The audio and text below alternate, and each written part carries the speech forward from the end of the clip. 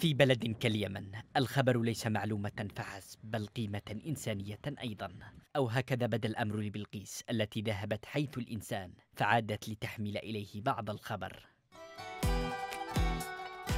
حيث الإنسان كان شعارها الأول فالإنسان أولا وأخيرا. غايتها الكبيرة في برنامج يعزز مفهوم شعار بلقيس حيث الإنسان ويهدف البرنامج إلى تسليط الضوء على قضايا وحالات إنسانية تشكل جزءا من معاناة اليمنيين. يكشف حجمها وتأثيرها ويلفت الانتباه لها بطرق جديدة.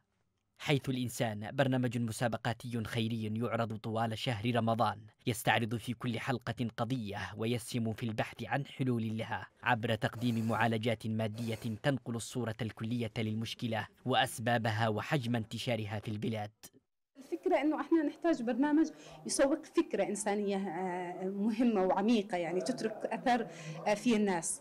حتى المشاريع اللي تم تنفيذها على أهميتها هي الفكرة اللي وراء هذه المشاريع هي يعني أكثر تأثيرا من المشروع ذاته يعني.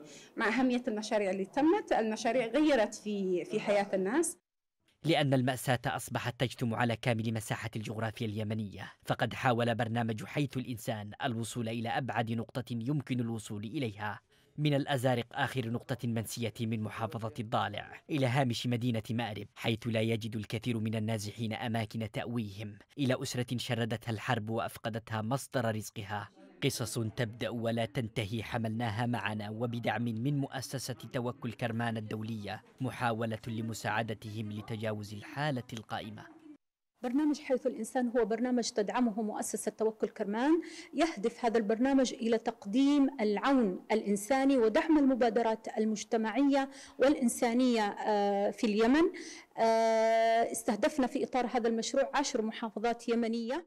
نفذنا في إطار هذا البرنامج 30 مشروع ومبادرة قمنا بتمويلها تمويلا كاملا تنوعت هذه الأنشطة من إعادة تأهيل لبعض الخدمات الصحية والتعليمية بالإضافة إلى دعمنا للمشاريع الصغيرة أيضا قمنا بمواجهة احتياجات النازحين في بعض احتياجات النازحين في المخيمات بالإضافة إلى أنشطة ومبادرات مجتمعية أخرى متنوعة.